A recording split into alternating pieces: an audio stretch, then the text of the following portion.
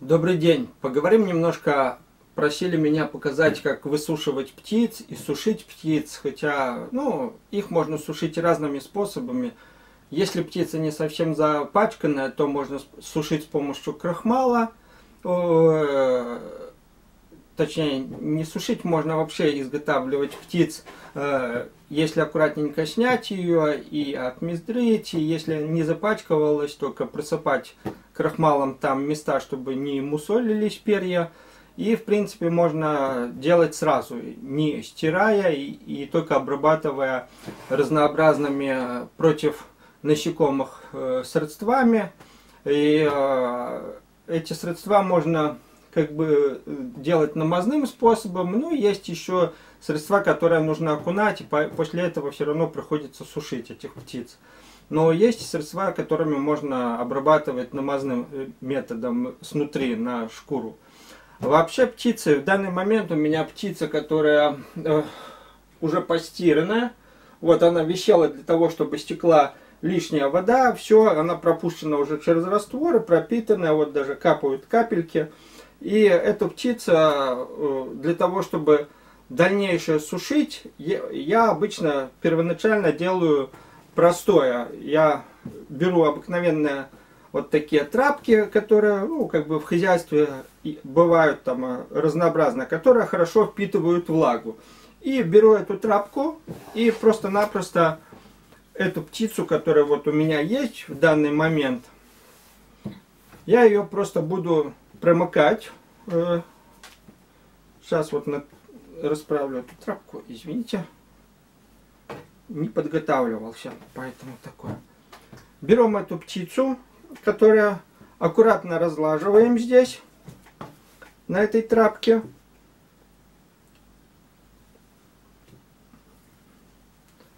Смотрим, где у нас тут... В общем, она висела в висячем состоянии для того, чтобы стекла после растворов. Я еще прополоскал Э, после растворов, чтобы стекла лишняя вода. И сейчас мы еще тоже будем убирать лишнюю влагу, но таким э, способом просто промыкания, как вот берут салфетками, э, убирают лишнюю влагу. Так мы будем вот этими всякими, более такие у меня трапки, для того, чтобы впитывали влагу, и я их просто-напросто несколько раз, несколькими трапками, я их просто пройдусь. Прижму это все, выдавлю оставшуюся влагу. Ну, надо разложить, чтобы не мялось перо в другую сторону, как бы правильно перо клалось. И это, например, хищника я делаю из-за того, что ну, у меня тут получилось так, что вот белка висит, и для этой белки нужно сделать хищника. Это хозяин э, нашел на дороге сперва хищника, а потом, ехавший сюда, он заморозил, как положено, привез. А потом, ехавший туда, ему попалась на дороге белка. Белка немножко, конечно, машиной очень сильно побита. Эта птица тоже поломано одно крыло, и, видно, стукнуто было по спине. Ну, вот видите, вот таким вот методом я ее промыкаю все перья, чтобы они больше отдали влаги. Птиц можно вообще сушить э, разными способами. Есть птицы, которые, например, как фазаны, там всякие тетеревинные, то я как бы их сушу сразу, не заправляя манекен внутрь и не делаю голову. А вот такие птицы, как вот хищная птица, хотя хищную птицу тоже можно сушить и потом э, э это изготавливать.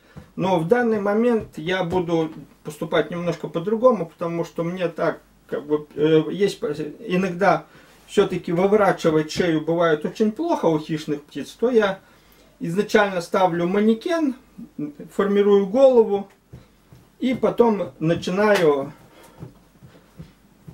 это, вот таким методом, видите, примокнул, видите, это намокла часть трапки. Мы перевернем сейчас в другую сторону, чтобы больше убрать этого.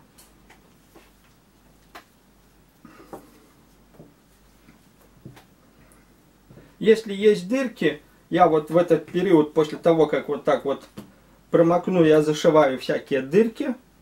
И... у этой птицы дырок нету. Она бита машиной, только поломано крыло. Ну, на крыле это ничего страшного. Как бы. И был бы большой был кровоподтек, но я его тоже уже убрал. Внутренний кровоподтек. Снаружи вроде бы сильно не пострадавший, но правда птица линная. Ну, летняя, поэтому часто бывают длинные птицы.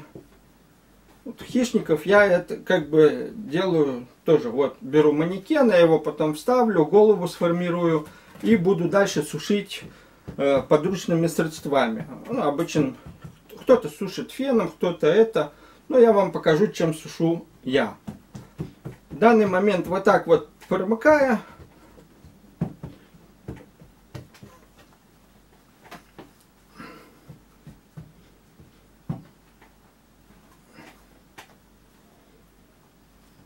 подсушиваю. Ну и все, я вот буду сейчас вставлять манекен. Ну, манекены я вам показывал раньше, как э, вставляются, крепятся к голове. У, например, на видео, на э, примере э, фазана, когда мастер-класс показывал, там показывал, как я монтирую эту голову. Поэтому для того, чтобы перед тем, как сушить птицу, я вам не буду демонстрировать это. Одно, что могу подсказать, перед тем, как вы начинаете работать перед сушкой или вот выворачиваете делать манекены, то берете крахмал и протираете все крахмалом. В принципе, птиц можно сушить крахмалом. По старым, по Заславскому, по старым этим э, э, сушили крахмалом. Потом уже появилась всякая техника, про которую можно было, те же фены появились, Э, кто-то, э, кто на что был гораст, тем и просушивали. В данном, э, эта птица уже постирана полностью, и для того, чтобы вот когда я буду выворачивать голову, это и монтировать, то мне желательно вот это вот все просыпало, чтобы не мусолилась жирная часть перьев. Ну, на этом, наверное, пока все. Э, поэтому дальше я покажу вам уже, когда смонтирую, вот поставлю манекен внутрь. Манекены вы видите, я делаю свои. Этот манекен от стервятника для этой птицы, если вы видите, я его укоротил, потому что потушки был чуть-чуть меньше. Ну и вставил сюда вот эту спененный полиэтилен трубку вместо шеи. Ну, можно делать накруткой. Но в последнее время, когда есть такого диаметра трубки, которые подходят для шеи, я их использую. Ну, пока на этом все. И э, продолжим. Я уже потом вам покажу, как э, продолжить дальше. В принципе, я могу показать сейчас, как сушить птицу эту можно, ну, обыкновенным феном. Я как-то и забыл, что можно. В общем, принцип, если феном, вам понятно. Берете птицу, просто берете тот же самый обыкновенный фен, желательно по большей мощности, и по ходу пера начинаете сушить.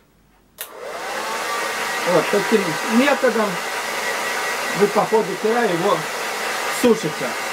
Я, конечно, привык не феном сушить, я феном подсушиваю, а основную массу я высушиваю совсем другим способом.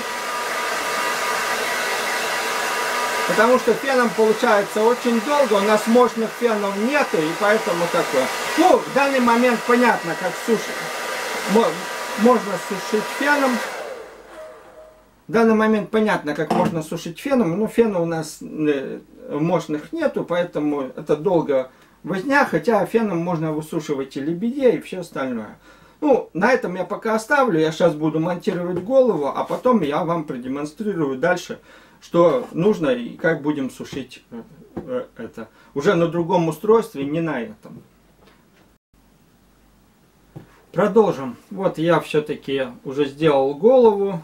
Э, это, в общем, поставил манекен внутрь. И буду теперь сушить. Но я вам говорил, что сушить можно будет феном. Но феном у меня получается более долго. И нужно сушить всегда по от головы к хвосту, по направлению перьев, чтобы перья не подымались. Аккуратненько, если нужно, поправлять. Но почему в хищных птиц я делаю обычно, я говорил уже, что есть вот утки, э, хищные птицы, их желательно там э, сразу как бы голову делать, а потом постепенно сушить. Э, у других птиц, там тетервинных, тех же самых фазанов, куропаток, уврановых, этой проблемы как бы нет. У мелких птиц тоже желательно голову делать сразу, а потом одевать, а потом это, начинать сушить. Ну, в данный момент я буду сушить не этим, а, как бы сейчас пойду сушить. У меня есть устройство старое такое. Ну, в данный момент я вам, пойдемте, я вам покажу, и в дальнейшем будет видно. В дальнейшем будет видно, я вам покажу у меня есть вот такое вот устройство. Это старое устройство. Ну, в принципе, это еще советских времен. Это сушилки для рук. Я его специально положил на такой высоте, для того, чтобы мне удобнее было э, работать и э, э, сушить. Ну, вы понимаете, что сушки для рук, там идет теплый воздух и мощность побольше, чем у фена, и намного быстрее сушится. Я просто этот Включаю, буду точно так же сушить. Мне удобнее, я могу здесь и большую птицу сушить, вплоть до альбатросов, лебедей, там, вплоть что угодно можно было сушить. И в данный момент я буду, включаю его, будет плохо слышно, но я вам покажу, как. Я просто блокирую и сперва сушу крылья,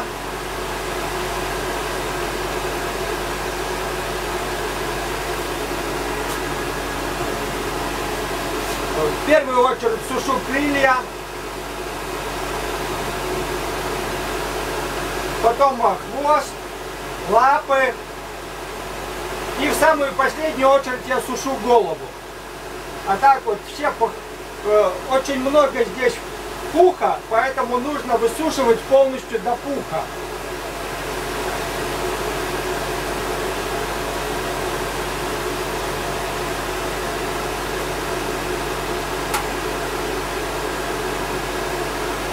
Теплый воздух, близко стараюсь не подносить, потому что там очень горячий воздух. И полностью высушиваю. Вот стараюсь просушить перья, крылья все по ходу, видите, чтобы они высушивались. Нужно полностью все высушивать.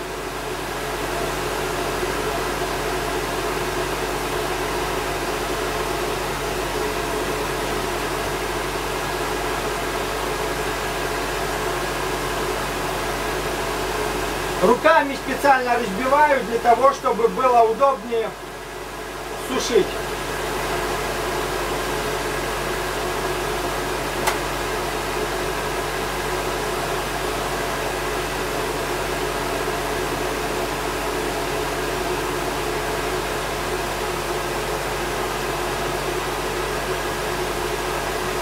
В общем, основной принцип понятно, да?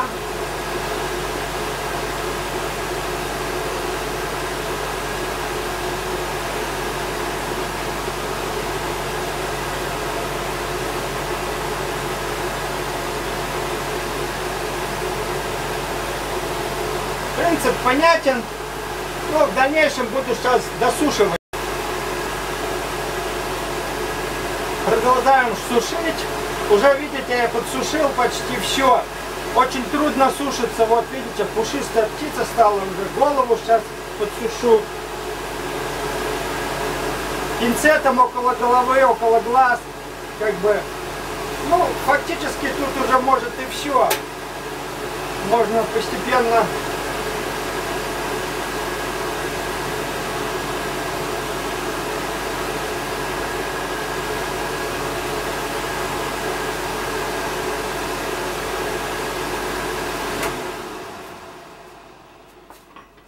фактически, видите, почти полностью высушил. Тут поправлять еще чуть-чуть буду. О, видите, даже видно, что это головой стукнулось об это. Ну, ясно, понятно.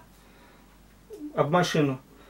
Э, видите, птица почти полностью высушена. Уже фактически все. Дальше я буду уже работать с ней на с этим хищником уже изготовление как обычно. Я уже, например, и фазана на мастер-классе показывал. Все остальное абсолютно так же делается. Очень трудно, конечно, сушатся вот всякие эти пуховые, но их нужно обязательно высушивать, потому что э, э, тогда лучше работать с этим птицей. Видите, кожа абсолютно не пострадала из-за того, что она, она абсолютно мягкая. И в данный момент Я думаю, что на этом, наверное, мы закончим. И основной принцип я вам показал, как сушить птиц. Э, с большего вам понятно. Ну, а у каждого свои методы и каждое устройство, с которыми он может это, сушить. Вот вы просили, я сделал. До новых встреч. До свидания. Встретимся на новых видео. Если что непонятно, пишите, звоните. В принципе, во всех, э, как бы, в интернете я есть, и меня найти есть. После каждого видео есть тоже и телефоны, и электронная почта. Ну, до новых встреч. До свидания.